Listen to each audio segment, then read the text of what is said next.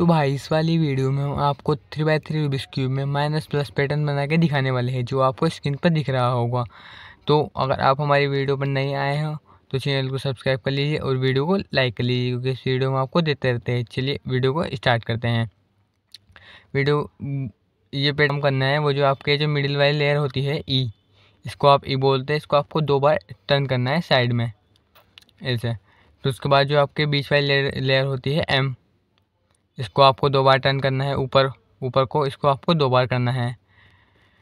फिर उसके बाद जो आपकी ऊपर वाली होती है यू इसको आपको दो बार इधर करेंगे आप। अब दोबारा से इसको इसी एल्गोरिथम करना है, मगर आपको इसमें ई नहीं करना आपकी बार।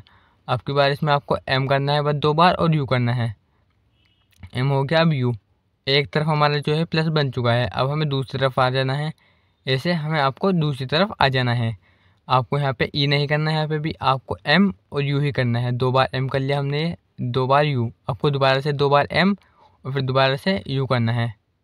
दो बार एम और दो बार यू तो देखिए, जो हमारे माइनस प्लस पैटर्न है, बन के तैयार हो चुका है। मगर अभी आप वीडियो छोड़ कर मत जाना, हम आपको बताएँगे कि आप इस वाले पैटर्न को दोबारा से सॉल्व कैसे कर सकते हैं। तो चलिए, अब हम आपको बताते हैं इस वाले पैटर्न को आप दोबारा से सॉल्व कैसे कर सकते हैं अपने रूबिक्स क्यूब में।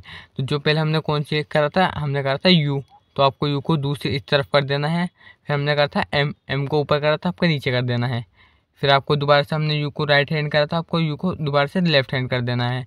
फिर दो बार एम को नीचे। फिर दूसरी तरफ़ आए थे हम तो आपका भी आपको दूसरी तरफ़ ही आना है। फिर हमने क्या करा था, यू को राइट हैंड करा था तो आपको लेफ़्ट हैंड कर देना है और एम को नीचे करा था तो ऐसे करना है आपको। फिर उसके बाद आपको ई को इधर करना है तो हमारा जो क्यूब है, ये सॉल्व हो चुका है। सब्सक्राइब